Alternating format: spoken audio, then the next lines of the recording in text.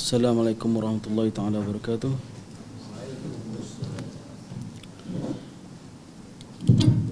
Innal hamdalillah nahmaduhu wa nasta'inuhu wa nastaghfiruh wa nastahdihi wa na'udzu billahi min shururi anfusina wa min sayyiati a'malina.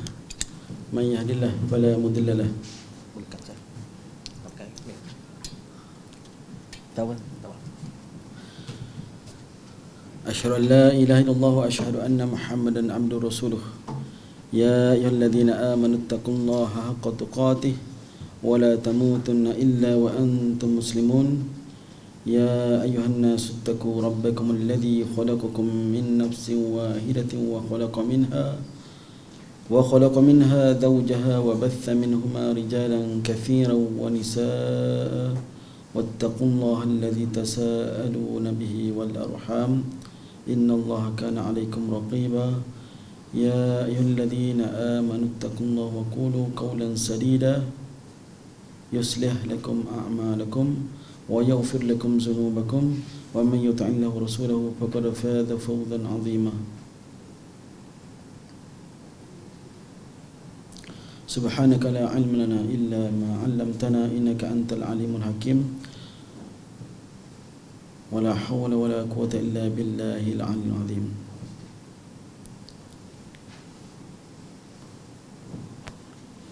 Alhamdulillah yang dimuliakan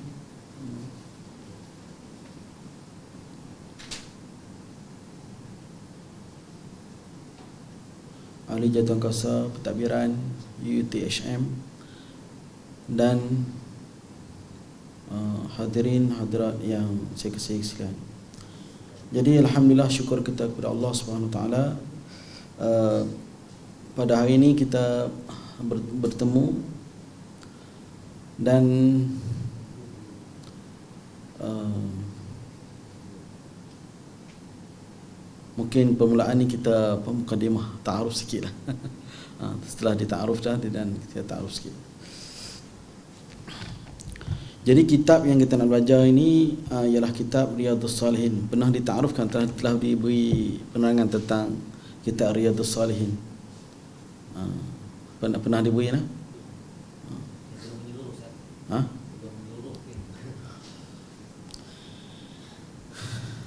Sebenarnya kitab Riyadhus Salihin ni dia dinukilkan mana dipindahkan daripada kitab kitab-kitab besar lah seperti mana kitab Bukhari dan Muslim. Ha, dan dibuat satu kitab nama uh, Riyadus Salihin. Ha. begitu juga kitab-kitab uh, hadis Arba'in. Hadis Arba'in juga terdapat kitab uh, Bukhari dan Muslim. Maknanya asalnya rujukan yang asalnya lah uh, Bukhari dan Muslim jadi kita baca hadis yang disambunglah hadis ni sebelum ni pernah dibaca kan? Pernah dibaca hadis ni sebelum ni. Sebelum ni dah pernah dibaca. Ha? Jadi kita baca hadis yang ke-8 eh. Ha.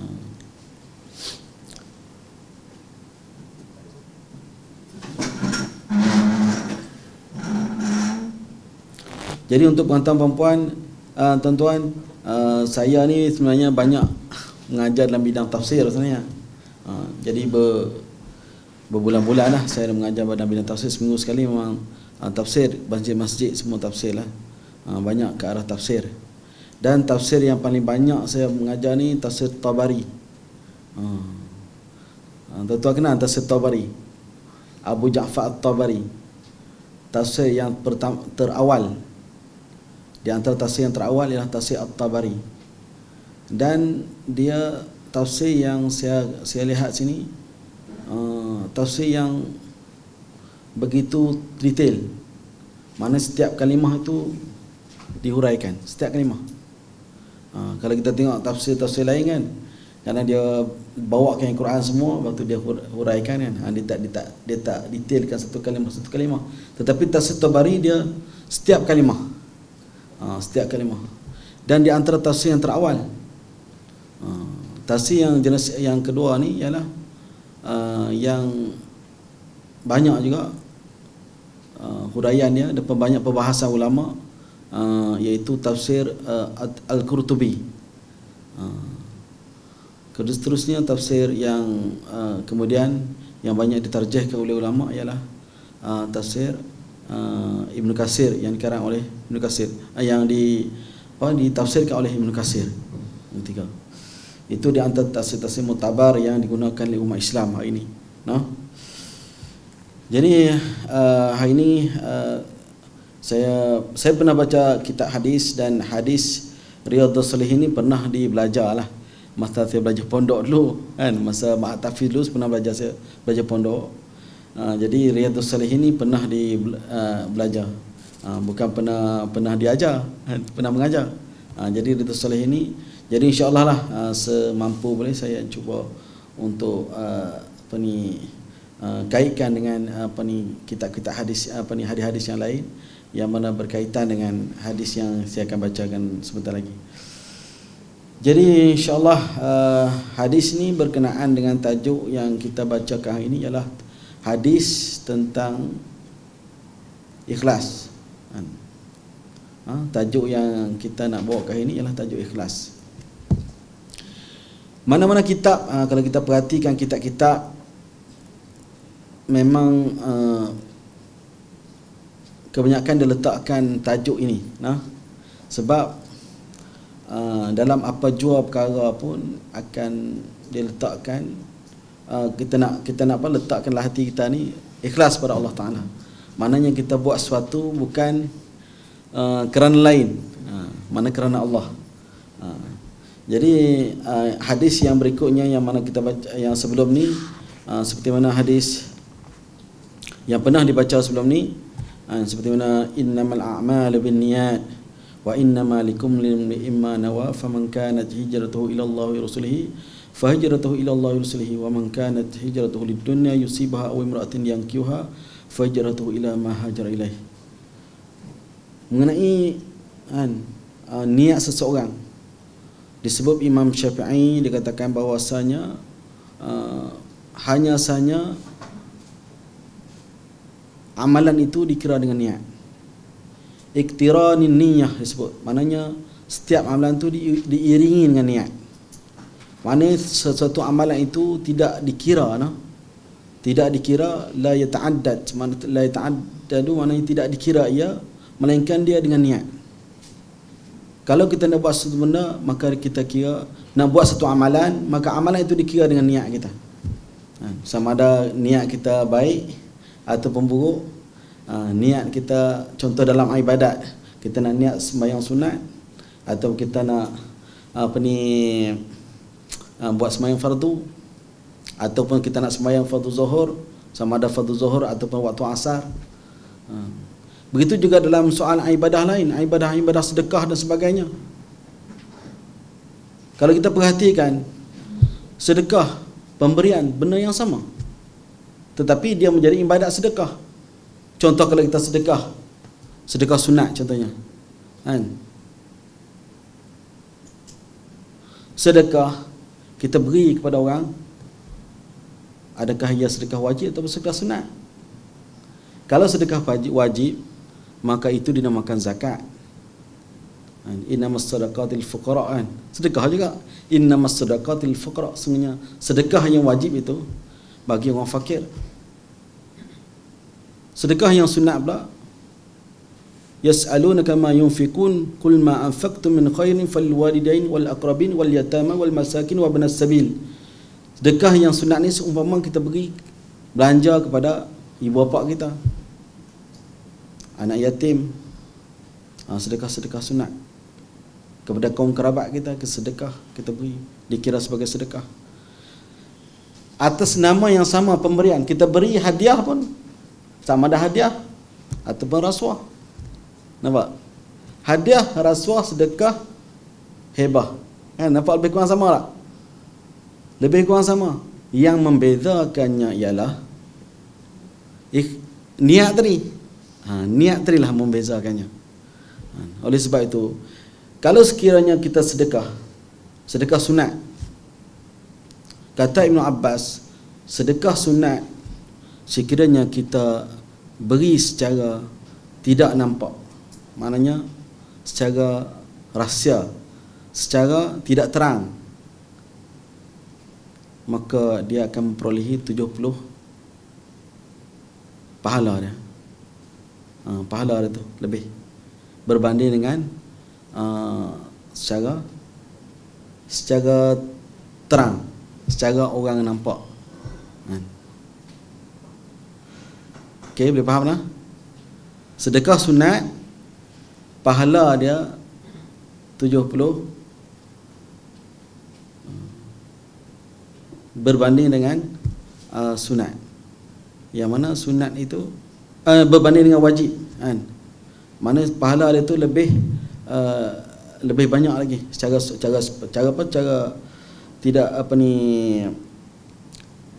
orang tak nampak lah kan? Cara tersembunyi kan? manakala zakat pula tak boleh secara senyap. Mana kalau dia bersenyap boleh tetapi lebih afdalnya dia kena terang. Itu zakat no secara terang ha, bagi secara terang tu lebih uh, lebih baik. Ha, pahala lebih lebih uh, lebih banyak berbanding dengan uh, secara tidak terang tadi. Ha, faham tak? Ha, tu beza di antara dua. Semuanya itu bergantung dengan niat. Ha, niat seseorang. Okey kita baca hadis ini wa an abi hurairah an عبد الرحمن بن سخر رضي الله عنه قال قال رسول الله صلى الله عليه وسلم إن الله لا ينظر إلى أجسامكم Sabda Rasulullah sallallahu alaihi wasallam sesungguhnya Allah taala tidak melihat kepada ajsamikum. Ajsamikum ni maknanya tubuh tubuh badan lah. Allah tak melihat kepada tubuh badan kita. Kan? Maknanya ha, tak tengoklah kita ni orang yang ke gemuk ke tak tengok. Kan? Dia tak tengok macam tu. Wala wala ila suwarikum dan tidak melihat kepada rupa kamu. Ha, rupa kamu ni kan segak ke tak segak, cantik ke tak cantik dia tak tengok. Kan? Kalau kita tengok apa ni uh, uh, yang diceritakan kisah kan apa nama? Uh, Bilal bin Rabah tu kan wajahnya hitam kan rambut kerinting. Ha, kita boleh bayang macam mana keadaan kan.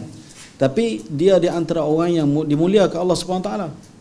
Sehingga kaki-kakinya didengar berjalan di dalam syurga. Ha, maknanya dia amalan dia oh dahsyat kan nak bandingkan dengan amalan-amalan orang lain. Kan amalan dia tu. Walakin yanzuru ila qulubikum dan akan tetapi ia melihat kepada hati-hati kamu wa a'malikum dan amalan kamu. Ha. Allah melihat kepada hati kita dan amalan kita. Saya petik satu uh, hadis ya daripada Aisyah radhiyallahu anhu an, anha. Dikatakan bahwasanya orang yang ada satu perasaan ingin melakukan dosa. Dia nak buat dosa nah. Bila dia nak buat dosa,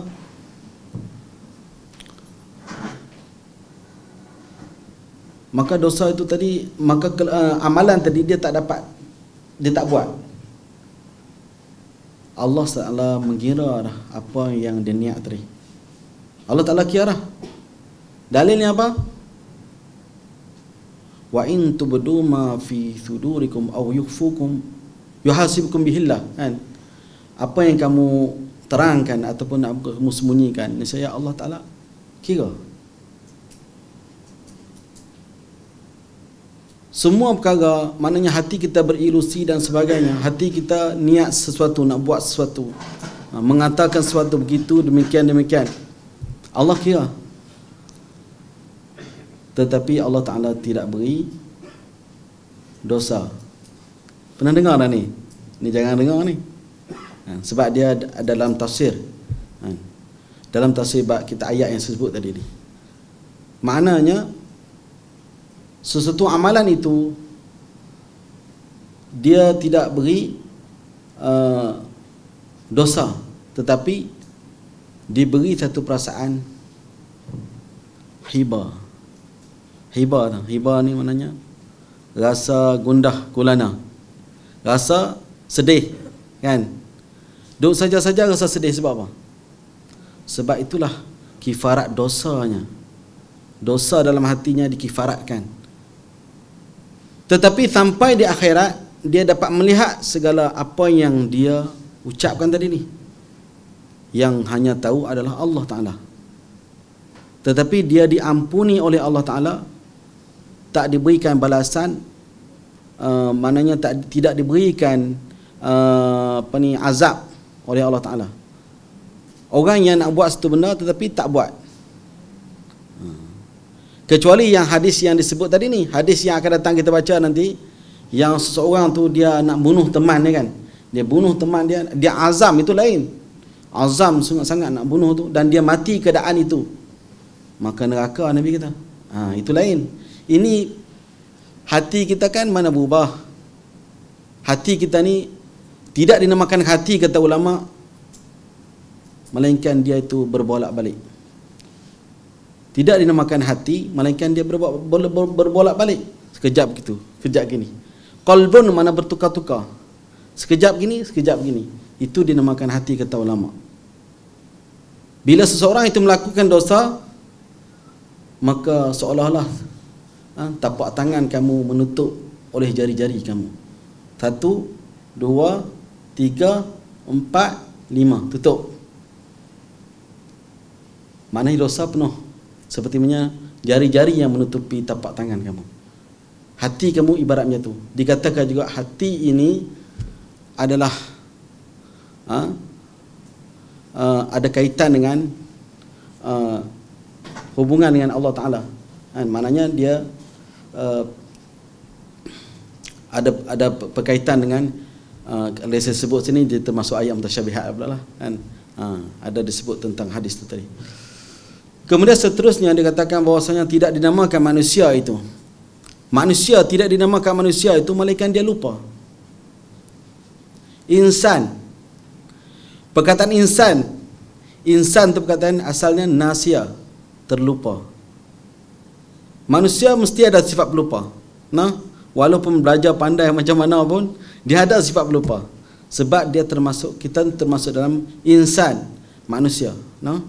Manusia dia ada sifat pelupa. Kan? Tidak dikatakan apa ni Adam itu melakukan dosa, melainkan dia terlupa daripada arahan Tuhannya. Daripada dia makan buah wala taqrabu hadhihi syajarah. Jangan hampir pokok ini tapi dia terlupa. Lalu dia makan ha, buah yang terlarang itu. Ha. Lupa lah. Ha.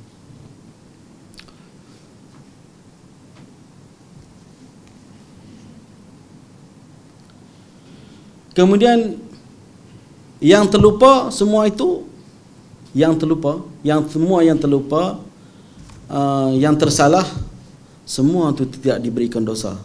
Nah, yang terlupa, yang tersalah tidak diberikan dosa nah. Dalam Islam kita nah, dalam syariat kita macam tu. Raf'ul qalam an salas. Terangkatnya dosa tu tiga. Satu khata tersalah. Yang kedua nisyan terlupa. Yang ketiga wa mastukriha alaihi dan apa yang dipaksa atasnya. Tiga tadi maknanya kita tidak uh, berdosa. No? Uh, dan apa yang uh, kita sebut dalam hati kita tadi maka tidak diberikan dosa. Cuma diberikan perasaan hiba, perasaan uh, gundah, perasaan sedih. Itu mengkifaratkan dosa kita. Dan banyak lagi sebenarnya benda perkara yang uh, mengkifaratkan dosa kita oleh kerana kita buat perkara-perkara dosa. No? Ha, itu cerita lain lah kemudian lah. Ha.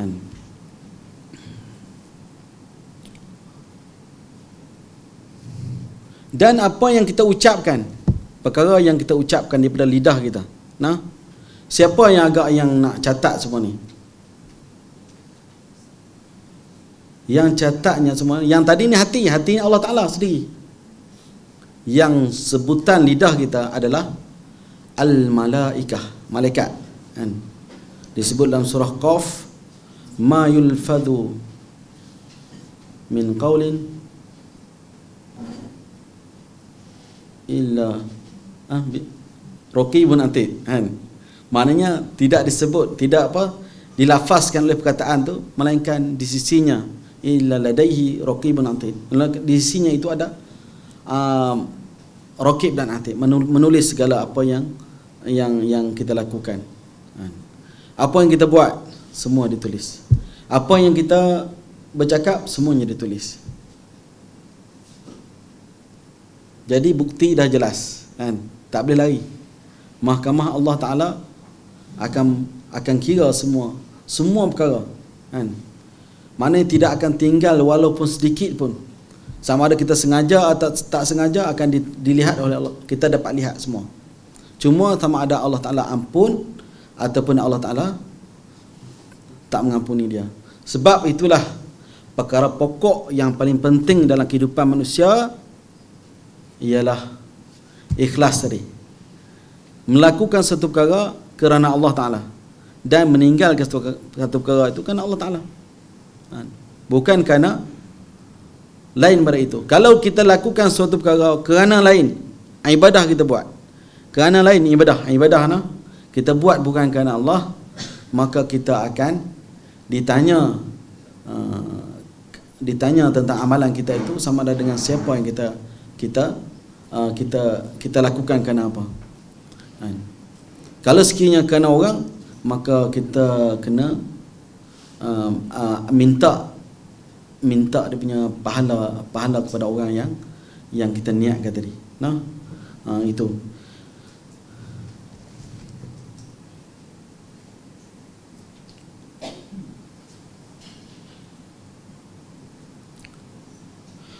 an Abi Musa Abdullah bin Qais. Ada kitab mana? Kan belum lagi tak? Kan sebelum ni dah kitab lah. Ha, belum belum dapat, belum dapat. Ha, belum dah kita kira lah. kita kita baca. Wa an Abi Musa Abd uh, ah, wa, an Abi Musa Abdullah bin Qais Asy'ari radhiyallahu anhu qala Su'ila Rasulullah su'ila Rasulullah sallallahu alaihi wasallam anil rajuli yuqatilu syaja' wa yuqatilu hamiyatan wa yuqatilu riya'an.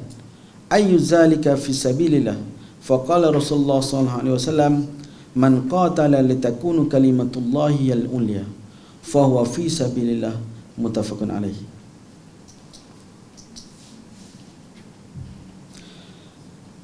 ditanya Rasulullah SAW tentang lelaki yang mana ia berperang hal keadaan dia berani. Syaja'ah. Ah, mana orang perang dia takut kan? Perang ni mesti beraninya kan? Ah, dalam keadaan berani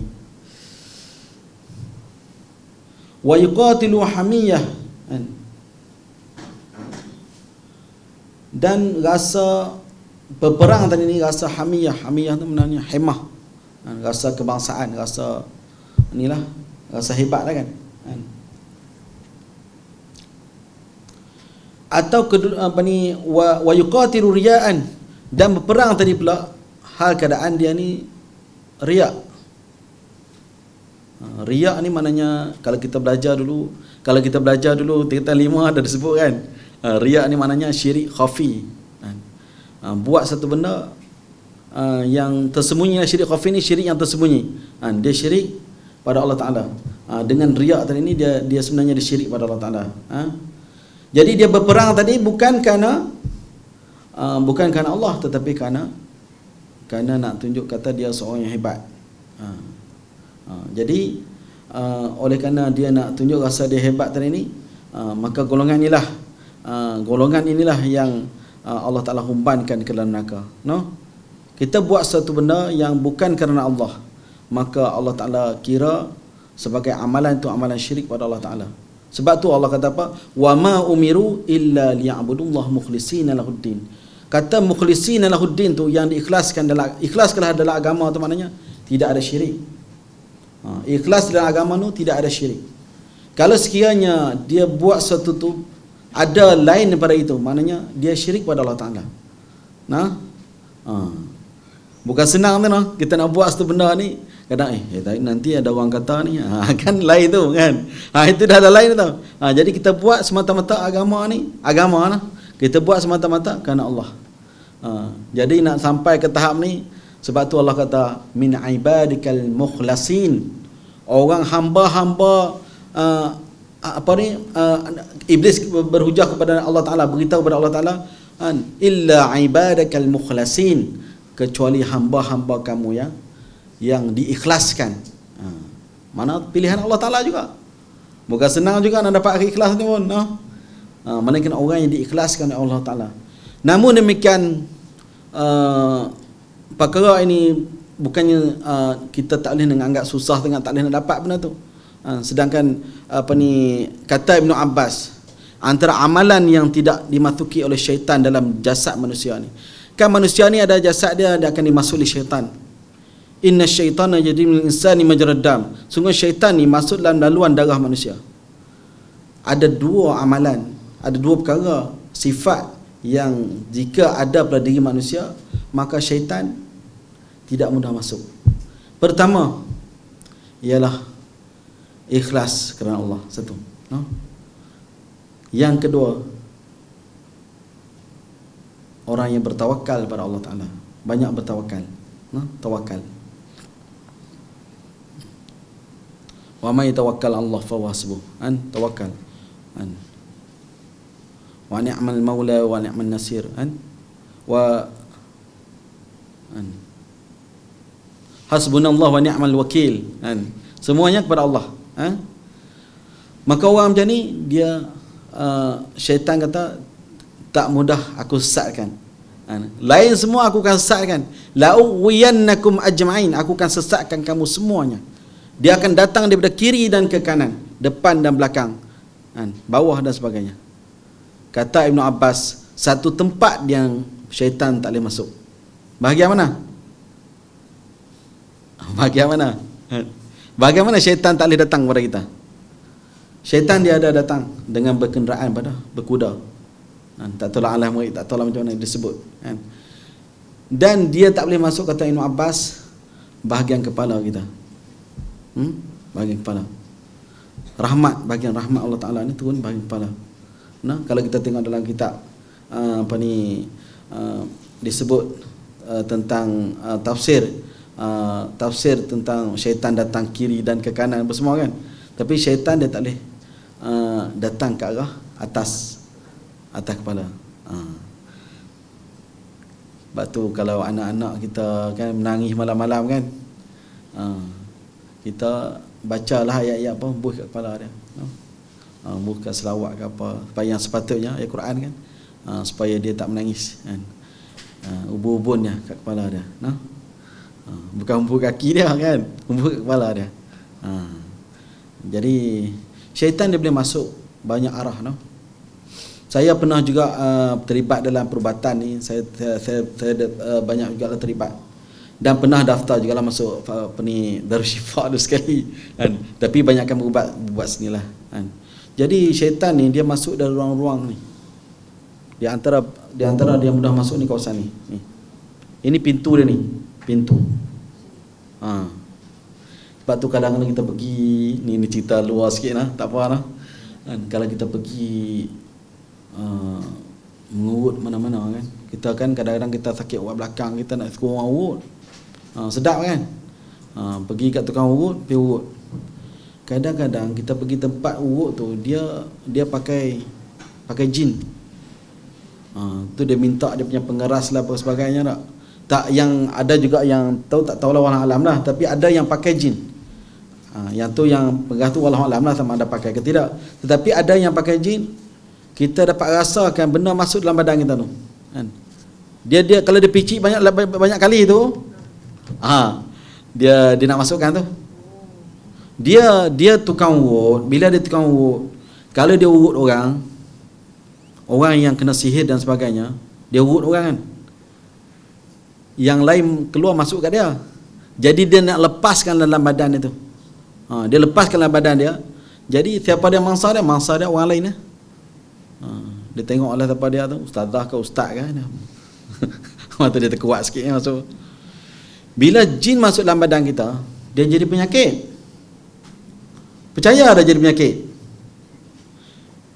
Ini ahli perubatan, saya pernah bertanya dengan orang yang ahli perubatan dia kata yang perempuan yang jadi apa barah. Barah uh, barah ni barah dada ni dia punya jin duduk kat situ. Duduk berak kencing itu tu yang jadi barah tu. Uh. jadi tugas dia buat apa? Bukan bagi ubat makan. Jadi orang ustaz-ustaz yang hari perubatan ni dia buang dia cabut cabut benda tu dekat situ. Dia buang tu cabut dengan ni lah dia dia buang. Jadi hilang tegar ha, penyakit tu ha. Sebab tu apa ni kita kena cari pelindung diri kita ni. Bukan saya nak cerita lah bukan dia apa ni bukan kita zaman dulu lah. Zaman sekarang pun banyak lah zaman sekarang ni kalau silap-silap makan pergi kedai-kedai tu kan dia letak satu uh, penjin uh, apa panggil uh, jin pelaris tu. Ha, jin, ya, jin pelaris. Ha. kalau jin pelaris tu kalau nak tengok ha, saya pernah bubat kan? Kawan-kawan kita lah bubat. Kan? saya tolong dia lah sikit kan. Macam ni jalan dia macam mawas tu. Ha. kita makan silap kita makan masuk dalam badan. Jadi macam tu. Penyakit dalam badan kita. Kan ada yang tak berubah macam tu okey lah kan. Sebab tu kita pentingnya masa kita makan tu kadang kita terlupa nak baca ayat-ayat apa semua.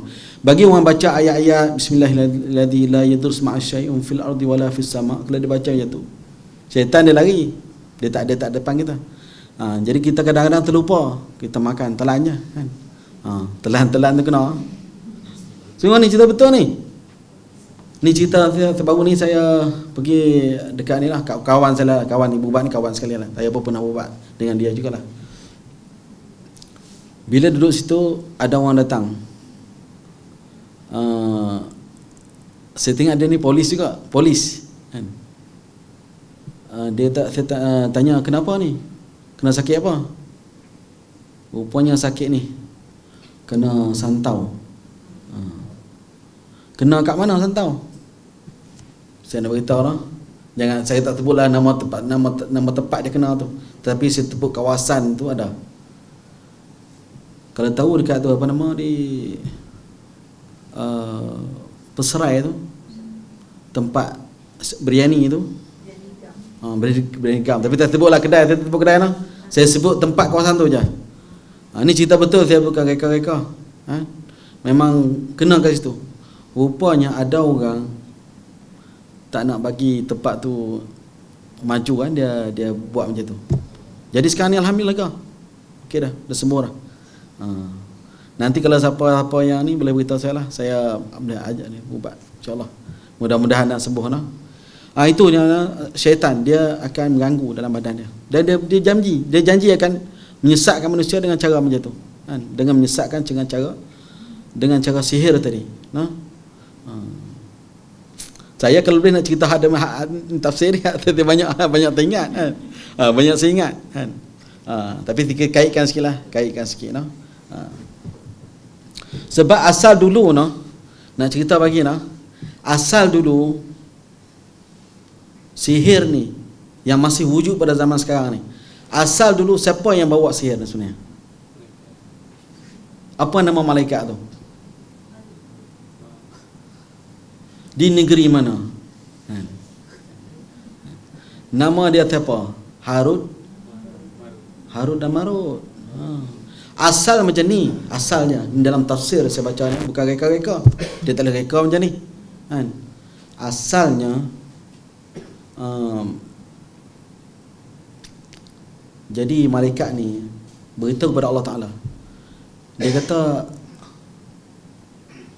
dia lihat penduduk di bumi ini maknanya banyak melakukan maksiat. Banyak melakukan kerosakan di atas muka bumi itu maksiat lah. Jadi kata Allah Ta'ala sekiranya kamu jadi manusia nescaya kamu juga sama macam mereka ha, dia kata itu kalau kamu manusia nescaya kamu sama mereka maka Allah Ta'ala uji malaikat tadi Allah turunkan malaikat dua malaikat namanya Harut dan Marut turun ke ke ke bumi maka diperintahkan supaya jangan melakukan dosa-dosa besar iaitu zina, membunuh orang dan sebagainya. Tetapi hanya ujian kepada manusia ni uh, memberitahu tentang ilmu sihir. Ha, diberitahu tentang ilmu ilmu sihir diberitahu kepada manusia. lalu pada ketika itu syaitanlah yang mengambil ilmu itu. Syaitan syaitan-syaitan yang ambil ilmu itu. Jadi syaitan-syaitan tadi menggunakan ilmu tadi menyihirkan ha, antara lelaki dan perempuan boleh berpisah. Tuan-tuan tahu tak? Menyebabkan lelaki dan perempuan berpisah. Alat yang paling mudah sekali ha, ini terang pula ni. Tapi jangan amal. Yang tu memang cukup dahsyat. Mana daripada dulu lagi zaman dulu lagi. Nah zaman dulu lagi. Ha, cerita dia nah. Ha. kemudian syaitan tadi ni dia menuduh uh, apa ni Sulaiman. Menuduh Sulaiman sebagai orang yang tukang sihir dia tuduh Sulaiman punca dia ke mana kalau kita baca dalam Quran kan wattaba'u ma tatlus syayatin ala mulki Sulaiman wa ma kafara Sulaiman walakin asyayatin kafaru yu'allimuna an-nas as-sihra wa ma yu'allimana min ahadin hatta yaqula inna ma nahnu fitnatun fala takfur فيتعلمون منهما ما يفرقون به بين المرء وزوجه وما هم بضارين به من أحد إلا بإذن الله kan mereka menuduh uh, apa ni Sulaiman itu tukang sihir. Sebab apa? Sebab Sulaiman uh, ketika mana dia nak masuk ke dalam uh, bilik air ni kisah dia lah. Saya masukkan sikit lah. Sebab ni mengenai dengan kita nak cerita tentang tipu daya syaitan tadi ni. Yang menyebabkan kita orang yang tidak ikhlas pada Allah Ta'ala dia akan dia mudah masuk uh, dia mudah masuk. Jadi syaitan tadi ni telah menulis satu maknanya satu perkataan-perkataan yang mana sihir ditanam di bawah kurusi Sulaiman. Ha. Jadi Sulaiman ni jadi uh, bila nak masuk ke dalam bilik air tadi dia cabut cincinnya. Cincin tadi dicabut, diletakkan uh, di tepi bilik air tu. Kemudian uh, lalu dia pun uh, apa ni lalu pun apa ni syaitan tadi menyerupai Sulaiman. Ha, dia masuk bila air juga. Sulaiman syaitan masuk. Dia jumpa Sulaiman. Kemudian dia panggil nama isterinya panggil nama isteri Sulaiman tadi. Iblis tadilah panggil. Dia kata wahai jaradah nama jaradah isteri dia. Jaradah ni kalau ikut terjemah dalam bahasa Melayu uh, belalang. Uh, nama isteri belalang. Uh, jaradah dalam bahasa Arab kita eh jaradah belalang rupanya. Kan tapi kita nama-nama dululah kan ha, jaradah ha. jadi bila bila jaradah tadi memberi cincin tadi ni cincin yang dipegang dia beri kepada iblis tadi maka iblis tadi gunakan cincin tadi. Maka dia fitnahkan Sulaiman. Dia kata apa kepada Sulaiman? Dia kata inilah perbuatan yang dilakukan dilakukan oleh Sulaiman yang mana dengan cincin tadi dia menyihir kita kita mengikut perintah dia. Ha, itulah. Ikut perintah Sulaiman. Mana Sulaiman suruh ke arah kiri kiri kita. Kanan kanan kita.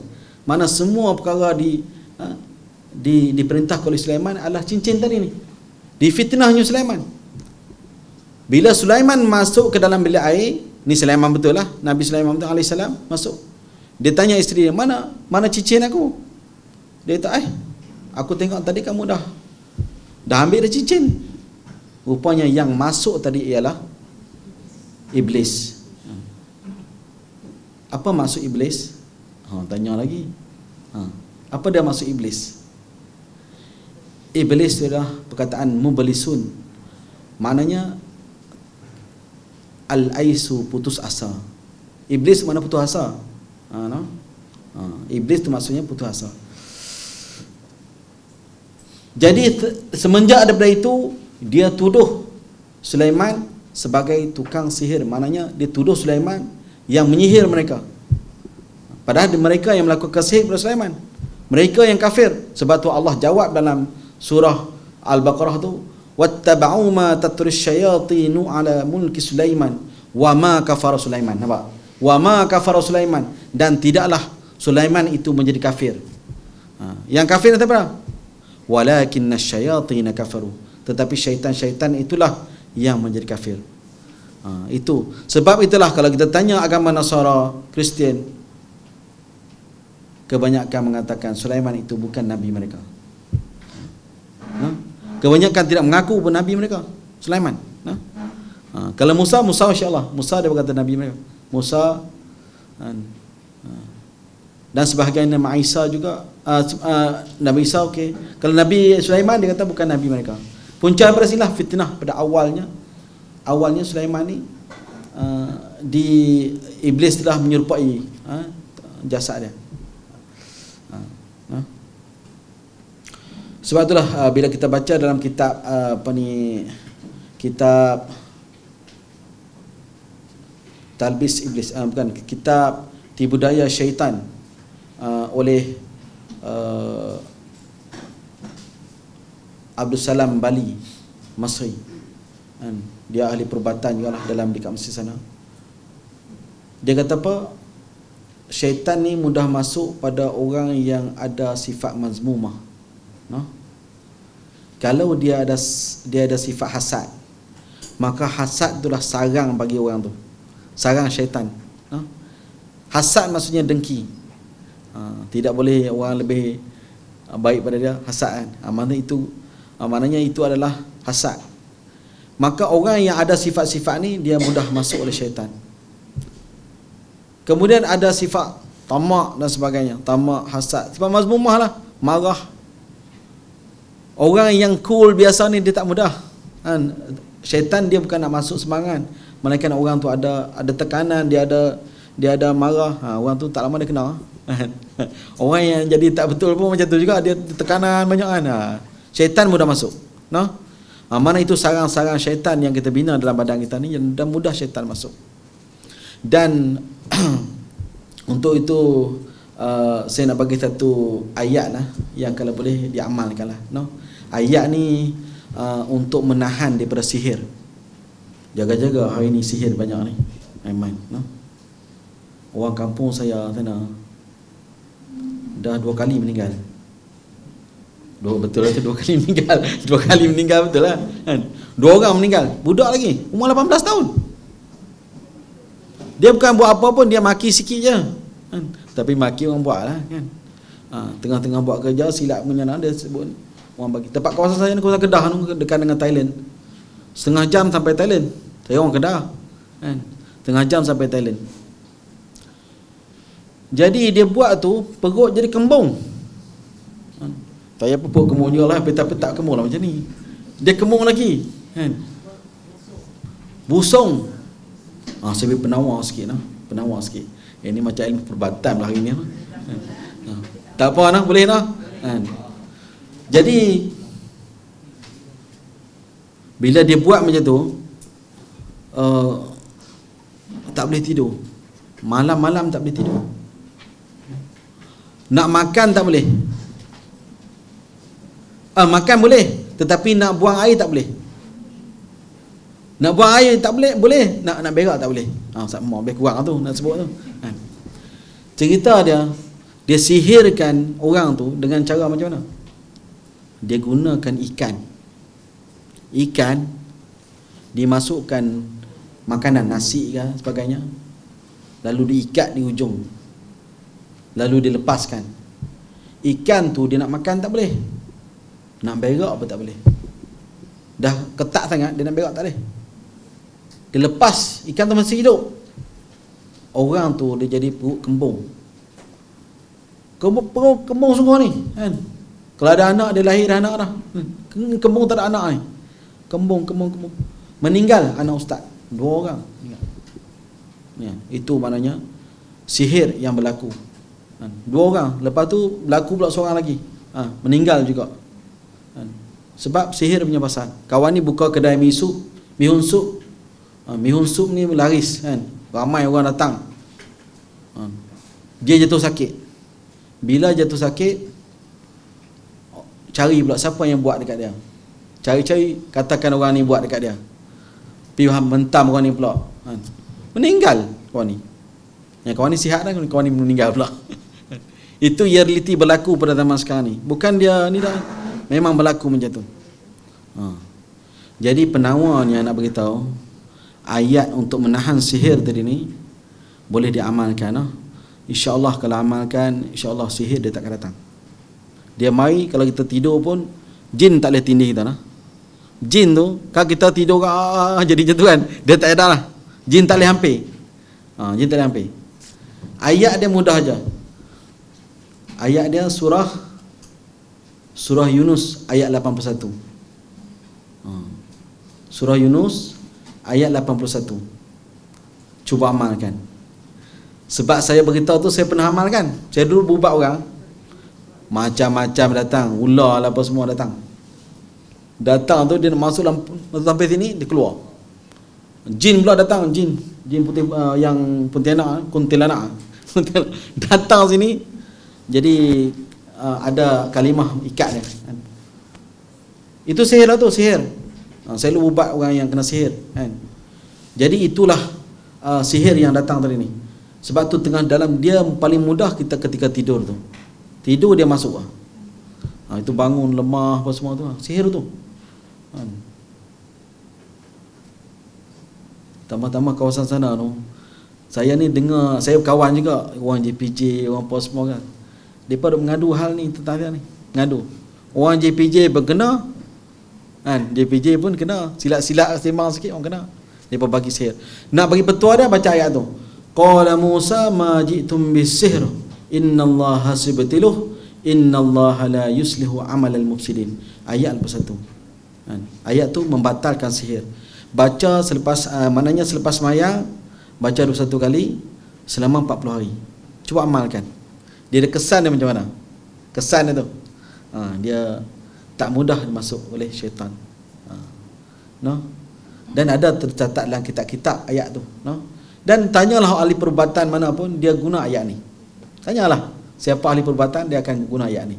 Qala Musa ma ji'tum bi sihr inna Allah hasibtiluh inna Allah la yuslihu amalan muslimin. No? Kita tak tahu keadaan uh, keadaan orang apa di hujung dia macam mana. Sebab orang di di kampung saya tu ada seorang pelajar ni dia belajar. Belajar mesti pandai kan? Sampai tahun akhir. Dia nak habis dah nak nak nak, nak habis dah nak grade apa kan?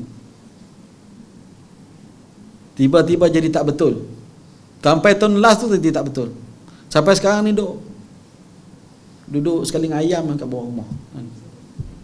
Dia tak ingat kan? ni bukan dia tipu tak memang betul maknanya sihir peranan sihir kalau Allah Ta'ala izin memang kena kalau Allah Ta'ala tak izin tak kena lah Ha, sebab tu uh, kita beringat-ingat sebab dia memberi kesan yang panjang, menyusahkan orang lah, kan.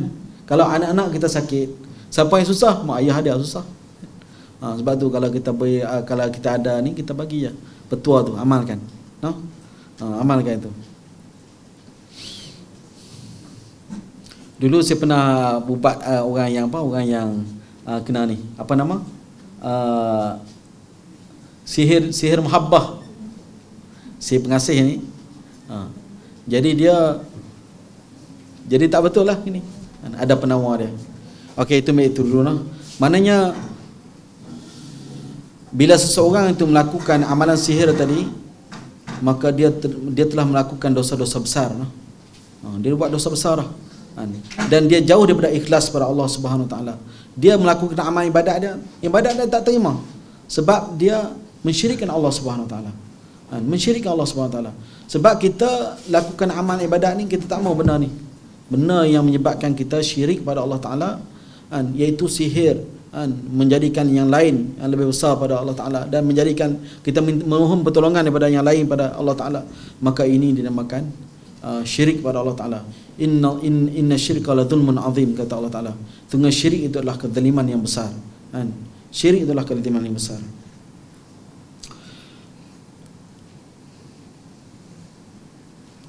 Jadi tiga golongan yang disebut ah ni hadis yang ini maknanya tiga golongan orang yang mana mereka yang mana di akhirat nanti akan dipanggil oleh Allah Taala. Pertama orang yang mana berjuang fi sabilillah.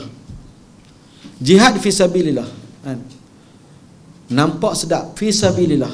Tetapi apa yang diperjuangkan bila ditanya betul benarkah kamu ni orang yang berjuang pada jalan aku maka dikatakan benar ya Allah aku berjuang kerana fi sabilillah kerana jalanmu ya Allah fi sabilik kerana jalanmu ya Allah Allah kata dusta kamu berjuang semata-mata kerana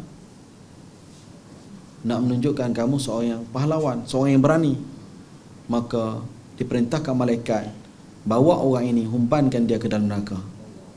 Ha? yang kedua orang yang banyak bersedekah menderma sana sini. Tetapi tujuannya apa? Dikatakan bahawasanya dia tujuan kerana Allah. Tetapi bila ditanya lagi begitu juga jawapannya kerana Allah maka Allah kata kamu dusta kamu hanya lakukan semata-mata kerana ingin dikatakan kamu seorang dermawan seorang yang banyak duit seorang yang dermawan seorang yang ada harta maka diperintahkan malaikat bawa orang ini umpankan dia ke dalam neraka. No? Dan yang ketiga ialah orang yang belajar ilmu agama, belajar dan mengajar ilmu agama. Baik, kedudukan cukup baik. Tetapi tujuannya apa? Katanya tujuannya kerana Allah. Itu lidah dia lah. Tetapi Allah kata, kamu dusta. Kamu lakukan ini adalah kerana hendak mengatakan kamu seorang yang alim maka perintahkan malaikat bawa orang ini humban dia ke dalam neraka nampak macam bagus kita tak tahu dalaman kita macam mana no dalaman kita tak tahu macam mana sebab tu yang paling pokok yang paling penting kita amalan tak tunggu banyak tak tunggu sikit mana tak perlu banyak sangat tak perlu mana banyak tu lagi baguslah kan. Kalau maknanya bukan bukan ukuran banyak itu menjadi satu uh, perkara pokok tetapi pokoknya ialah ikhlas. Ikhlas hatinya kepada Allah Taala. Kan? Kalau ikhlas hatinya kepada Allah Taala Allah kira daripada ikhlas tadi. Sebab itulah dalam satu Quran disebut kan la tubtilu sadaqatikum bil manni wal adha jangan kamu batalkan amalan sedekah kamu dengan ungkitan dan menyakitkan azza menyakitkan kita sedekah orang kita ungkit-ungkit bila kita ungkit pahala yang kita dapat akan dapat terhapus. Kita ungkit. Aku dulu pernah uh, sekian belanja kamu sekian hingga kamu sampai masuk universiti, kamu dapat apa perasaan kita kalau sekian orang ungkit kita depan macam tu? Rasa nak ambil jatah bagi dekat dia kan. Kan, ni nak ambil, ambil sijil kamu kamu. Kan. Nampaknya nak dah lepas dah. Benar lepas, kita nak patah balik tak boleh. Kan. Kalau kita seman dengan orang kan. Yang dia sebut perkara lepas, kita nak buat macam mana? Nak buat macam mana ni? Dah lepas dah. Jadi yang lepas tu tak payah kenang lah. Yang nak nak ke depan ni, ke depan ni. Jadi pahala-pahala tadi tak dapat. Satu lagi kita beri dengan pemberian yang menyakitkan. Mana kita beri? Ha uh, menyakitkan kan? mana orang macam ni uh, tidak dapat apa-apa balasan apa kan? tak dapat pahala daripada Allah SWT nah? sebab dia tidak ada ikhlas kan? uh, sebab itulah ikhlas ini adalah pokok utama dalam amalan segala perkara amalan kita kita ikhlas kerana Allah Taala mana kita buat semata-mata kerana Allah kan? uh, niat tu mesti uh, kita jaga no?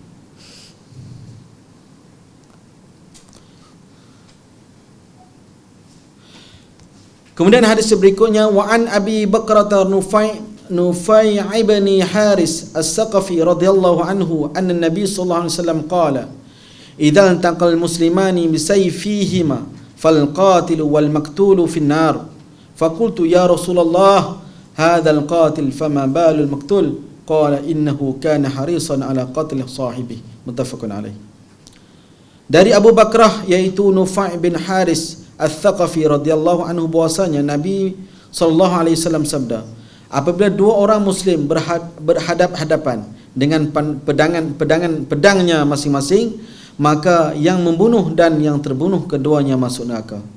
Saya bertanya, ini yang membunuh patut masuk neraka, tetapi bagaimanakah halnya orang yang terbunuh? Mengapa ia masuk neraka? Rasulullah sallallahu alaihi wasallam menjawab, kerana sesungguhnya orang yang terbunuh itu juga ingin sekali hendak membunuh lawannya.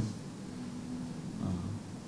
dia azam dia tu bukan niat biasa dah azam dia tu azam ni hampir kepada jazam mana dia nak betul-betul nak bunuh ni kemudian dia mati dalam keadaan itu dan dia bangun dalam keadaan niatnya ingin membunuh tadi.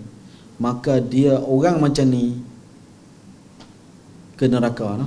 ha, orang ni dia tak buat lagi katanya dia tak buat apa dia tengah buat lah tu dia nak bunuh kan? Dia nak buat tu. Ha.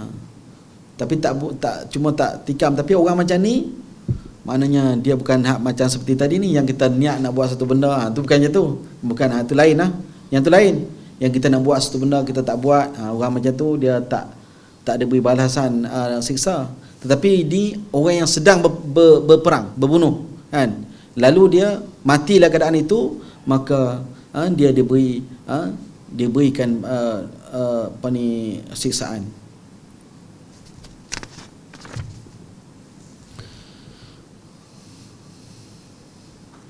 Wa an Abi Hurairah radhiyallahu anhu qala qala Rasulullah sallallahu alaihi wasallam salatul rajuli fi jama'ah tazidu ala salatihi fi suqi wa bainihi bid'an wa ashrina darajah. Kan. Sembahyang lelaki di uh, berjemaah an, ditambahkan atas sembahyangnya ha? fi suqihi wa bain wa baitihi kan. daripada sembahyang dia di pasar dia di ataupun di rumahnya uh, bid'an wa ashrin maknanya uh, 20 ke ataslah bid'an ni maknanya 1 sampai 9 10 ha, ha sampai 9 maknanya uh, ada ulama mengatakan 27 nah kan macam satu hadis sebut As-salatul jama'ati khairun min salatil fazdi 70 wa 20 darajah. Sungguhnya sembahyang sembahyang jemaah itu lebih baik dari sembahyang seorang 27 ganjaran ha, darjat. Orang yang lelaki, orang lelaki ya no? Ha, orang lelaki yang sembahyang berjemaah. Ha. Dapat tak kalau sembahyang jemaah di rumah? Dapat? Ha. Dapat tak? Jemaah yang dimaksudkan sini ialah jemaah uh, di masjid lah ataupun tempat azan diazankan? Ha, yang jemaah dimasukkan ini uh, di masjid atau di surau tempat azan diazankan no?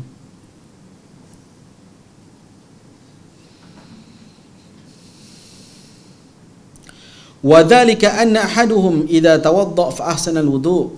Demikian itu salah seorang mereka bila mana ia berwuduk maka perbaiki wuduk mereka. Kan? Wuduk kita uh, betulkan wuduk kita no? ha, wuduk kita uh, sempurnakan wuduk kita lah kan? macam mana kita nak sempurnakan wuduk kita mana lebih terbaiknya ha, cara wuduk kita bagaimana betul atau tidak betul kadang-kadang kita uh, apa ni apa ni kita basuh tak sempurna kaki yang tak sempurna dibasuh oleh air wuduk kalau dia semayang Ah, semayang tak sah noh. Semayang tak sah. Kemudian kita ha, sempurnakan wuduk kita dengan menyapu kepala. Bukan basuh kepala noh. Ha, ada juga ulama membolehkan kata ambil air letak sini kan. Tetapi yang rojehnya adalah sapu. Sapu. Kan, sapu kepala. Kalau ulama madhab Imam Syafi'i dia kata sebahagian kan sini pun boleh sebut kepala juga tapi uh, jumhur jumhur ulama maknanya semua uh, semua kedua-dua lah jumhur ulama nah. uh, tapi sekadar ini pun dah cukup dah nah. uh, ini mazhab Imam Ash-Syafi'i rahimahullah jadi sempurna wuduk sebab tu ada satu hadis menyebut bahwasanya uh, yang Nabi inzarkan kepada orang yang mana mereka melakukan mereka me, apa, membasuh kaki mereka tetapi tidak sempurna uh, basuh kaki tak sempurna sembahyang Ha, ditakuti mereka di akhirat uh, di uh, akhirat kelak akan dibakar oleh api neraka. Contoh sekali, no? Inzar itu. Begitu sekali. Karena tidak sempurnakan wuduk mereka. Bila wuduk tidak sah, semayang dah tentu tidak sah, no? Semayang tak sah, apa jawapannya? Neraka. Ha. Kenapa disiksa pada orang yang tak tahu? Orang tak tahu kena juga. Orang tak tahu kena. Dia tak termasuk orang tak tahu memang kena. Kan? Yang tahu lagi kena lah kan. Orang yang tak tahu lagi. Yang tersalah ya. Ha, tersalah lain. Tersalah terlupa lain. Ha, man nasiya salatan aw na nam anha fakaffaratu idza dzakaraha barang siapa terlupa ataupun tertidur ya maka kifarat dosa bila mana dia teringat. Semayanglah. Semayang kalau dia terlupa tiba-tiba terlupa eh oh dah masuk asar. Ah okey tak payah tu. Ataupun dia apa ni at, uh, ataupun tertidur. Ataupun tertidur bukan sengaja pergi tidur lah Eh nak masuk asar ni 5 minit eh tidur tidur tidur tidur. Ha tak, tak boleh. Ha bukan gitu. Ha? Bukan nak dekat asar tu nak pergi tidur dah bukan. Ha jadi uh, dua benda ni ya maknanya kifarat dosa dia bila benda dia teringat dia semayang.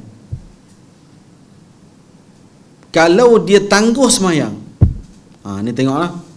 Semayang awal dengan semayang lewat afdalnya semayang awal. Afdal. Tetapi tidak salah semayang lewat. Faham tak? Faham?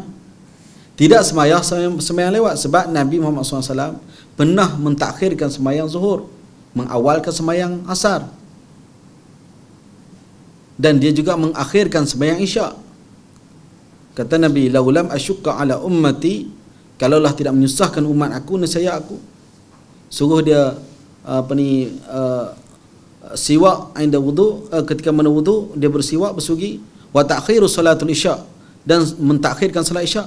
Menakhirkan tu tak apa sunnah. Boleh. Tetapi menangguh-nangguhkan. Menangguhkan sembahyang tadi menyebabkan sembahyang pada bukan waktunya. Sembahyang pada waktu lain. Dia sembahyang tu kan contoh dia sembahyang pada sembahyang zuhur tetapi sembahyang dalam waktu asar. Orang ini disebut wailul lil musallin. Celakalah orang yang sembahyang.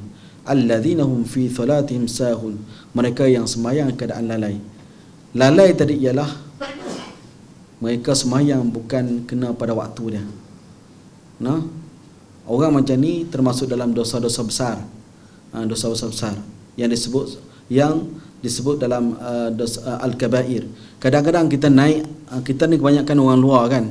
Orang luar datang daripada jauh uh, bermusafir. Atas bas pun kita tak berani beritahu kat driver. Kan? Ni saya nak berhenti turun nak semayang. Saya pernah naik balik saya balik ke Kedah. Bila sampai tu driver ni dia terus. Mana dia, dia nak tuju tu lah. Makan pun kadang-kadang tak berhenti kan. Ha, dia terus. Sampai ujung 10 minit gitu ya saya turun dia beritahu dia nak turun nak, nak semayang. Ha, kadang kita beritahu lah kita nak pergi toilet apa dia turun lah kan. Ha, tak payah beritahu semayang beritahu kita nak pergi toilet apa dia turun lah. Boleh katakan hak duduk tu semua tak semayang lah Semua tak semayang. Tak ada yang kata kita semayang. Bila kita boleh perhatikan keadaan suasana Realiti sekarang ni Orang tak semayang. Orang tinggal ketika mana dia bermusafir. Dia tinggalkan. Ha, Ini sebenarnya Semua ni saya dah Beritahu dekat orang-orang yang uh, Saya pernah dalam masjid-masjid Semua saya beritahu yang ni. Sebab ramai orang tak boleh jaga semayang. Berdosa tak? Berdosa tu. Dosa besar. Orang yang meninggalkan semayang. Ha? Faqad kafara jihara sungguhnya kafir yang nyata nabi kata no? macam mana tu kita nak jaga tu ha. Ha. kecuali dia tertidur atau terlupa no? ha. jadi yang tu kena jaga semayang bagi lelaki bagi lelaki dia kena semayang uh, sunnahnya ialah semayang di uh, di uh, di tempat berjemaah lah no? uh, Dikatakan bahawa lam yakhut lam yakhuttu khatwatan illa rufi'a lahu biha darajah wa khutta anhu biha khati'atun hatta yadkhul al-masjid. Fa idza dakhala al-masjid kana fi salati ma kanat as-salati hiya allati tahbisuhu والملائكة يصلون على أحدكم ما دام في مجلسه الذي صلى فيه يقول اللهم ارحمه اللهم اغفر له اللهم تب عليه ما لم يؤذي فيه ما لم يحدث فيه متفق عليه Tidak tidak pula pada orang yang menggerakkan kepergian ke masjid kecuali hendak solat. Maka tidaklah ia melangkah kakinya selangkah kecuali ia dinaikkan kedudukannya sedarjat. Dan kerana itu pula dileburkanlah dileburkan uh, dileburlah uh, satu kesalahan daripadanya yaitu setiap selangkah tadi sehingga ia masuk ke masjid. Apabila ia telah masuk ke dalam masjid maka dia memperoleh pahala seperti seperti dalam keadaan solat. Selama solat itu Uh, selama solat itu uh, malaikat mendoakan untuk mendapatkan rahmat uh, atas seorang dari engkau semua. Selama masih berada di tempat dia solat para malaikat itu berkata ya Allah kasihilah orang ini. Wahai Allah ampunlah ia. Ya Allah terimakanlah taubatnya selama ia tidak mengganggu dan tidak berhadas di tempat itu. Mana Allah Taala beri ya jadi orang sebab itulah Nabi kata kalau orang tu tahu tentang kelebihan orang solat berjemaah nescaya dia datang ke masjid hak keadaan merangkak kalau dia sakit no? Pahala banyak. Digandakan 10 no? Ha, satu langkah dah kena. Di dosa diampunkan dosa diberikan pahala kan? Amalan kita digandakan 10 min asyarati amsalha 10 ha. ha, kadang digandakan lebih pada itu ha. Kemudian bila sampai ke sana pula tunggu solat. Lepas sembahyang uh, maghrib tunggu solat. Ha. maka selama mana dia tunggu tadi sampai masuk isyak maka pahala dia sentiasa dapat pahala dan dapat keampunan. Sebab itu bila kita keluar ke masjid kita dapat rasa sendiri nah, rasa perasaan kita tu macam mana. Tenang tak kan? Rasa ketenangan. Ha, bila kita pergi masjid kita rasa tenang. Ha, cuba kita uh, duduk tempat lain. Kita rasa tenang tak tak sama. Tak sama no? semain di rumah tak sama kan? ha, dia kita jadi pencelaru sikit. Hati kita jadi macam ha, kalau boleh nak siap cepat kan? Ha, tunduk tunduk cepat ha, boleh. Kalau boleh nak habis cepat. Ha, itu memang reality lah tak kira siapa dia lah. Nah. bila semayang di rumah dia nak cepat je kan? Ha, sebab tu Nabi kata kalau kamu sujud rokok rokok sempurnakan rokok kamu. Mana hingga kamu tenang baru kamu angkat kepala. Sujud bila kamu rasa tenang baru angkat kepala. Itu sunnahnya itu di mana dinamakan tamak ha? tamak nina kan? Kita tenang angkat kepala kan? ataupun yang tidak yang tidak dulu kan? Ha itu turun. Ha, kalau dia tet tet tet ha itu dia ha, disebut dalam hadis juga ha, Allah tak terima solat macam tu. Ha? dan kadang-kadang Nabi jumpa, ha, jumpa orang yang sembahyang macam tu Nabi suruh buat semula. Sebab tak diterima solat macam tu. Dia disebut sebagai orang yang mencuri dalam solat ha, sebab ada semayang. Semayang apa ni tidak sempurna sujud dan rukuknya. No? Ha, ini kita kena jaga no? Ha, berkaitan dengan ikhlas dan berkaitan dengan amalan juga. Allah Taala kira tu semua tu no?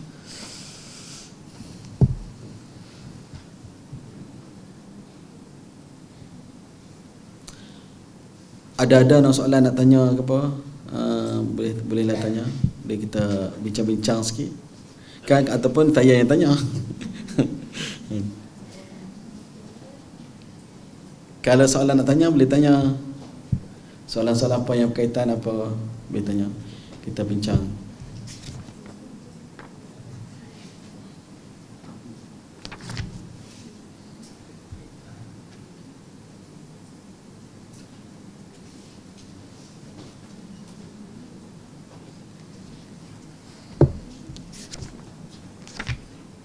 Ada soalan? Ha, ya. Ustaz, kalau kita sembahyang kan, ni bab fardu ain lah kan, sembahyang. Saya nak tanya pasal kadang kita nampak orang pakai kain pelekat kan, tapi nampak peha kayak macam kalau di sujud tu dia nampak peha. Jadi sembahyang ni batal ke macam mana? Sebab banyak juga orang tu. Yang tu ah. Masa sujud. Sujud dia. Nampak? Nampak peha. Nampak tu. Macam mana kamu boleh nampak paha dia? Sedangkan sedangkan sama-sama sujud. Tak ada kalau kita Oh. dia, sikit, Oh. nampak lah kan. Oh, tak ci ya. Okey tak apa. Uh, saya tak pernah tak pernah tak pernah dengar lagi dan tak pernah jumpa lagi kata tak sah. Kan? Ha, memang tu uh, dulu orang dulu orang zaman dulu pun dia pakai jubah kan. Ha, jubah. Kan? Dia tak sebut sebagai uh, uh, apa ni batal dan sebagainya tak ada. Kalau kalau macam tu kalau tak nak beri nampak ni kita duduk bawah dia nampak kan. Ha, jadi benda macam tu dia uh, benda yang terkecuali ya, benda tu kan. Ha, sebab tu perempuan lain perempuan dia kena pakai stokin dan sebagainya kan. Ha, yang lelaki dia yang tu tak ada masalah apa. Nampak paha, paha boleh nampak kan. Betis kot. Boleh, boleh. Nampak tu Hmm. Kain berikat macam mana tu? Oh, sensing atas. Ah. Oh, oh. Oh, mau cepat nampak ah. Tapi jarang saya nampak tu. Saya nampak. Rezeki ya nampak. Ha? Ha, itulah. Tapi tak pernah dengar saya tak pernah wallahu alam lah, saya tak pernah dengar dia punya kata batal ke apa tu. Ha. Alam. Ada soalan ni? Ustaz nak tanya Ustaz Yang ada orang sembahyang subuh Lepas sembahyang subuh dia salam dan siap tu dia suruh balik Lepas main subuh, Dah siap tu dia suruh balik hmm. Itu apa macam Tidak dia dah salam dah Oh. Ah, Kata dia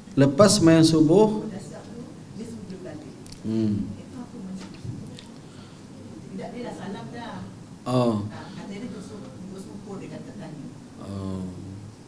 Sujud syukur. Oh, syukur tiap hari ya. Tak pagi Ah. Um, tak tanya dia sahwi ke apa? Tak ada dia kata Dia, dia memang biasa macam tu Oh, biasakan syukur itu eh.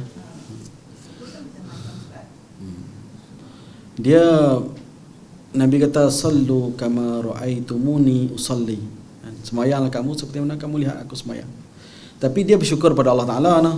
Lepas pada tu dia solat syukur. Apa kata semua kalau buat macam tu jadi macam mana? eh? Kan? Dia akan jadi celaru sikit kan? tapi dia sendiri tu diri dia sendiri lah nah diri dia sendiri. Kita tak saya tak boleh nak meletakkan benda tu ih ah ni ni bid'ah ni. Ha. contoh saya nak kata macam tu kan. Ha. jadi benda tu atas niat dia lah. Ha. niat dia. Mungkin dia buat tu kerana uh, kerana dia mensyukuri sesuatu yang dia memang sentiasa rasa nak bersyukur. Benda tu dia dapat kan dia nak syukur ni. Alhamdulillah syukurlah dapat. Wallahu alam ya tu. Nah tapi sebaiknya maknanya kita tak tak ada amalan tu dalam Islam tak ada syariat yang begitu. Yang beritahu tak lepas mayang kena sujud syukur tak ada. Tapi kalau dia buat tu uh, dan tak pernah juga ada ayat-ayat yang melarangnya. Uh, jadi uh, sebaiknya tak tak buatlah kan. Uh, dan kalau dia buat pun sekadar-sekala dia bersyukur pada Allah Taala tak ada masalah tu tak berdosa. Hmm. Ada soalan lagi kan? Ustaz.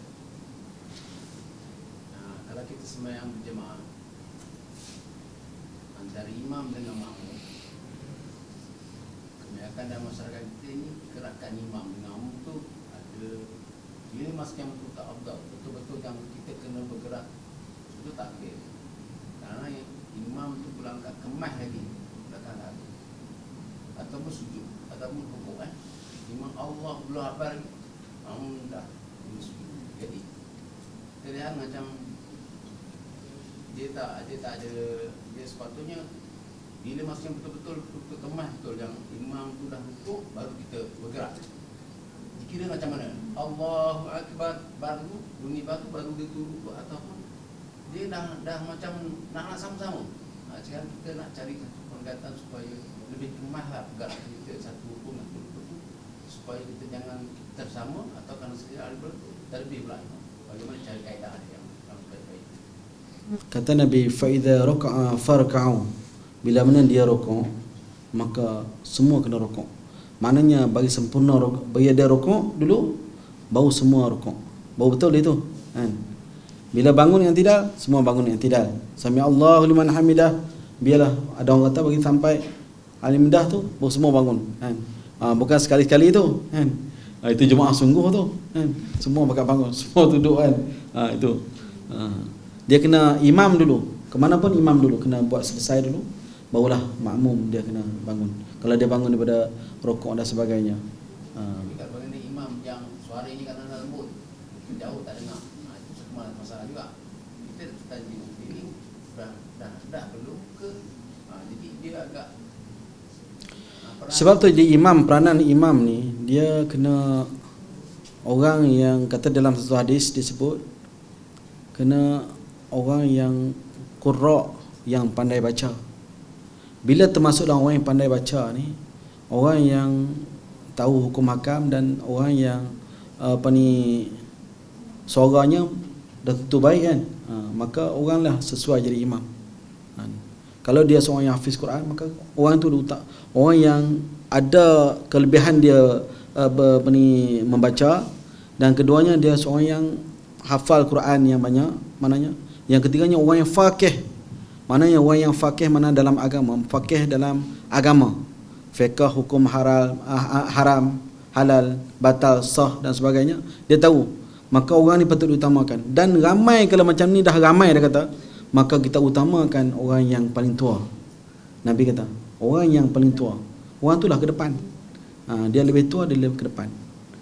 Itu disebut dalam hadis know?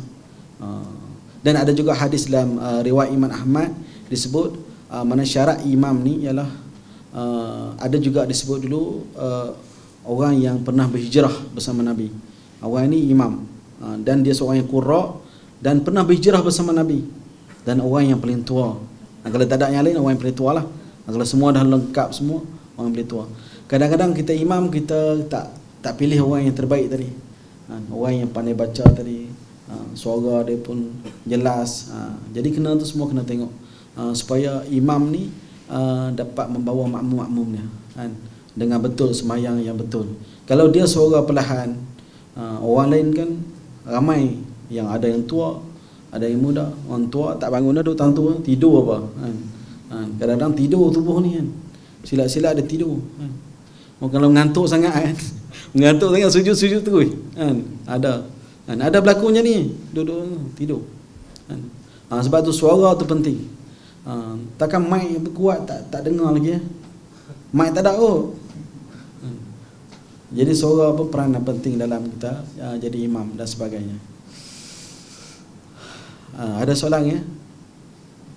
Tak ada.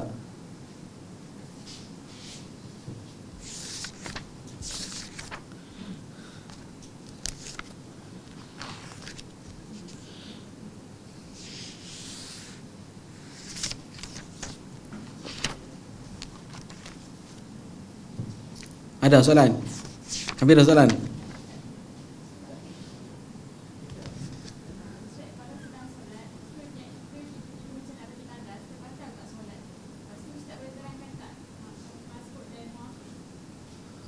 Oh. Jauh tu. Apa ni? Uh, uh, adakah batal? Dia nak bagi uh, Kedua kitab uh, dalam kitab Mi'adul Talibin karangan Al-Baghawi Imam Imam uh, ini disebut sebagai uh, kita sekiranya kita niat untuk keluar solat maka batal sembahyang dia. Uh, kalau kita niat nak keluar solat. Niat betul peranan penting niat tadi ni. Dia niat nak keluar solat. Batal sembahyang dia. Uh, ini berbahasa ulama lah tentang hadis yang uh, hadis yang tu berkaitan dengan inamal amal berniat lah. Bila dia keluar solat maka batal lah sembahyang dia. Jadi kalau dia taradud saja tu tak ada masalah lah. Nah, taradud ni. Taradud ni taradud ni maknanya orang panggil apa? Ragu-ragu. Yang tu tak apa. Tapi dia niat betul aku nak keluar solat ni. Ha, yang tu yang tu batal lah. Tapi kalau hanya taradud atau uh, inna zanna la yunish min al syai'a. Sangkaan apa ni apa ni benda yang syak tadi kan? Syak tadi dia tak akan batalkan semayang kita. Dan kita nak ragu-ragu je kan. Dalam hati kita ragu-ragu. Eh nak keluar ke tak keluar? Nak keluar ke tak keluar? Ha, yang tu tak apa. Tak membatalkan semayang kita. Kemudian uh, pasal uh, muafiq dan masbuk tadi. Hmm. Muafiq tadi kita sempat uh, baca fatihah uh, bersama imam. Nah. Hmm. Dan masbuk tadi kita tak tak sempat lah. Uh, kita datang-datang tadi tak sempat baca Fatihah bersama imam maka dia panggil masbuk. Maka dia pun dapat rakaat itu. Man adraka raka'atan min as-salah adraka salah. Para siapa dapat satu rakaat semayang, dia rokok sama-sama imam, maka dia dapat semayang itu. Man adraka raka'atan min as-salah adraka salah. Para siapa yang dapat satu rakaat semayang, tiba-tiba masuk waktu lain. Maghrib contohnya. Sah semayang dia. Asar. Ha, dengarlah. Ini yang dalil eh, kuat. Ha, dalil dalam dalam hadis Bukhari. Ha, disebut Kan? Ha. Kata kita masuk waktu semayang lain, kita kita, kita ni satu rakaat. Ha. Tapi kita tak maulah macam tu yang kita nak buat. Ha. kita nak buat bila semayang ni lebih afdalnya awal lah. Ha. awal tu rahmat, akhirnya maghfirah. Ha. disebut kan. Ha. dan orang yang semayang menjaga semayang termasuk orang yang awal waktu kan asal uh, li waktiha. Dan ada juga pandangan ulama kata pada waktu itu ha. sebab Allah Al-Quran sebut Inna salata kanas alal mu'minina kitaban mawquta. Sungguhnya sembahyang itu ditentukan waktu-waktu dia. Jadi waktu itulah dia tak akan lain waktu lain. Kalau waktu isyak waktu isyak lah. Sama ada depan ataupun di ujung kan. Uh, maka dia sah semayang dia. Uh. Ada. Ada soalan ya? Ah. kalau kita berimamkan mazhab lain Cara pertama lah Cara kedua Boleh ke satu orang imam Dia menukar-nukar mazhab ketika dia jadi imam Maksudnya uh, Kadang di mazhab lain Kita bacaan surah Dia tak baca basmalah Tapi yang lain di ikut mazhab lain pula Beberapa lain di ikut mazhab lain Itu dia. Okey, uh, adakah sah kita mengikut mazhab lain? Ha? Sah. Uh, mazhab lain pun dia guna hadis, hadis juga. Kan? Uh, dia be- beza dia macam ni je. Nak nak beritahu beza dia nah. Beza dia tang ni. Macam bismillah dengan tak bismillah. Daripada hadis Ibnu Mas'ud kan. Dikatakan Ibnu Mas'ud menyebut bahasanya uh, kami semahyang uh, bersama dengan uh, apa ni Umar, Osman uh, dan sahabat-sahabat lain kami tidak pernah mendengar uh, maknanya mereka membaca basmalah tak pernah dengar tu maknanya tak pasti sama ada dia mahu baca basmalah ataupun tidak kan? baca perlahan ataupun baca kuat kan? tapi tak dengar dia baca kan? sebab tu ma- mazhab Imam Malik mengatakan tak wajib baca basmalah begitu juga Imam Ahmad dan kita ikut di belakang dia. Sah? Kalau tak sah ke jenuhlah pergi haji. No di Mekah mana? Kalau tak sah pakai balik sajalah kan? Ha. jadi sah lah jawapannya sah kan? Itu ada hadis. Ada hadis kuat. Yang mengambil pendekatan Imam Syafi'i mengatakan bahawasanya baca basmalah itu sebab basmalah itu termasuk dalam Fatihah. Maka perlu dikuatkan katanya. Tentang kuat dan perlahan itu adalah khilaf maka tidak mengapa kalau sekiranya kita baca basmalah. Dan ada hadis kuat juga tentang baca basmalah tu. Kan? Basmalah juga termasuk dalam Fatihah kata Imam Syafi'i. Kan? Maka boleh baca basmalah. Kan? Dan orang lain tak baca basmalah kita baca basmalah tak apa tak masalah. Kan? Ah. dan uh, satu lagi ialah bertukar-tukar mazhab. Sembahyang yang sama begitu sembahyang maghrib tukar. Itu gitu, gitu uh, semua semua. Kejap baca bismillah. Yang nombor dua tak baca bismillah pula rakaat kedua. Yang tu uh, yang tu. Yang tu jangan pernah berlaku je tu. Uh, itu berlaku kecelaruan sekelah Kece, kecelaruan tu berlaku. Uh, jangan buat macam tu lah. Uh, kecelaruan uh, cela kecelaruan uh. uh, jadi tak ada orang yang kita nampak orang buat macam tu. Kalau sekiranya dia tak baca bismillah kemudian dia tak baca bismillah. Uh. Dan kita uh, di sini di kebiasaannya di Malaysia ni kita ikut mazhab Asy-Syafi'i nah. Ha, jadi uh, kebanyakan masjid-masjid mana kita baca bismillah. Ha, baca. Jadi insya-Allah uh, ada soalan-soalan lagi tak?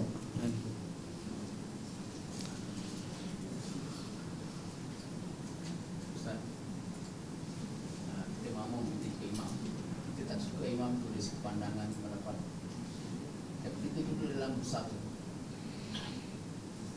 Kita tak tahu suka dia Dari pandangan dia Suka dia? Tak suka Oh tak suka pula. Kita tak suka dia Ah. Kita duduk dalam sab Kita nak Hati kita ni tidak suka dan dia Macam mana dari segi Soalan kita Kita nak ikut dia ke atau kita seorang sendiri Atau tapi kita duduk dalam sab Ah dulu asal tak dapat jemaah insya-Allah.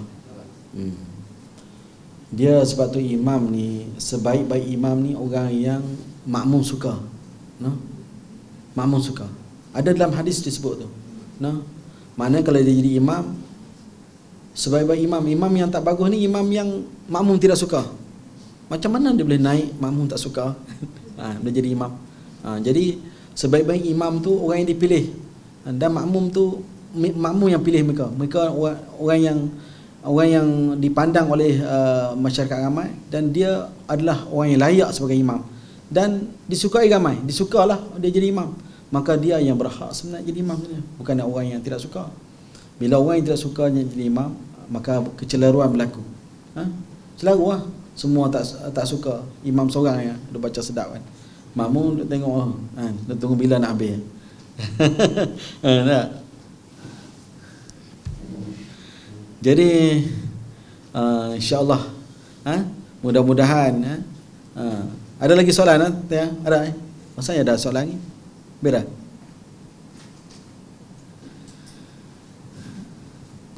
Asal sekarang pukul 4 oh, dekat asal ni. Ada soalan lagi nak tanya? Last. Tak ada? Jadi itulah ha, uh, kita bincang banyak-banyak perkara juga kan. Insya-Allah lah mudah-mudahan kita dalam perbincangan ni kita mudah-mudahan menambahkan lagi pengetahuan kita dalam agama. Kan. Kalau kita uh, muskil dalam beberapa perkara kita kena tanya orang yang lebih mengetahui kan. Supaya apa amalan yang kita buat hari-hari ini uh, betul dengan apa yang dikendaki oleh Allah Taala. Ramai orang alim kita orang alim duduk saja duduk eh, tunggu siapa nak tanya, siapa nak tanya contohnya tak. Ha, jadi uh, jumpa ustaz-ustaz yang yang tahu tanya dia ha, soalan agama maka dia akan berilah pandangan-pandangan dan dia dan uh, uh, boleh beramal dengan ilmu. Kita kalau kita beramal dengan tanpa ilmu walaupun tanpa ilmu kita berdosa. Yang keduanya kita tak dapat pahala. Kita nak bagi alasan kita tak hmm, saya tak tahu ni. Tak tahu ni. Itu saya tak tahu. Tak apa kot tak tahu. Tak tahu pun tak dapat pahala, no. Ha, jadi sebab itulah uh, kita lakukan biarlah kita tahu benda apa yang kita buat tu. Kan? Amalan apa yang kita buat tu biarlah kita tahu. No? Sebab semua boleh dikatakan amalan kita kan amalan apa pun dia ada uh, sebenarnya agama telah sempurna. Mana yang ada dari dalil tersendiri uh, menyebut tentang amalan-amalan kita tu. Jadi kita ikut yang tu dah selamat insya-Allah. Dan ulama telah membahas membahas lama dah. Dan kita ikut uh, apa ni pandangan-pandangan mereka. Mudah-mudahan kita tidak tersesat jalan. Ha? Uh, ada soalan lagi tak? Last. Ada lagi.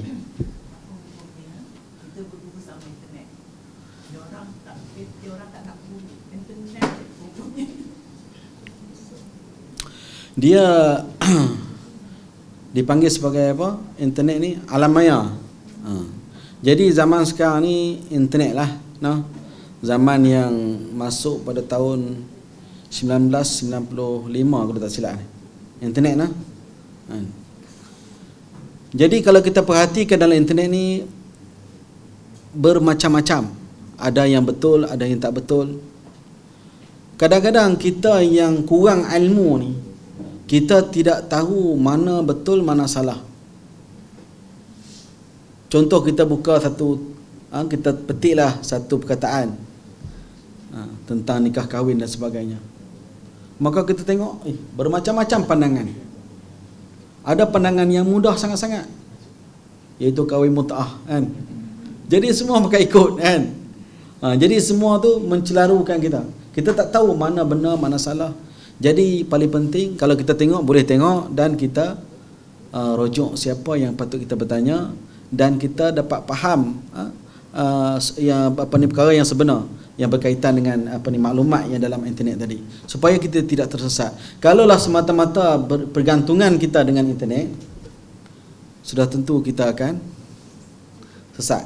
Ha. Bila sesat, ha, itulah ha, itu yang tak nak pergi masjid tu, alim kat rumah tu kan uh, jadi insyaallah uh, mudah-mudahan kita uh, sama uh, apa ni hidupkan uh, uh, apa ni uh, orang dulu dia sentiasa berdepan dengan guru-guru mereka dan mendapat uh, apa ni pendidikan daripada guru-guru mereka. Uh, tunjuk ajar daripada guru-guru mereka.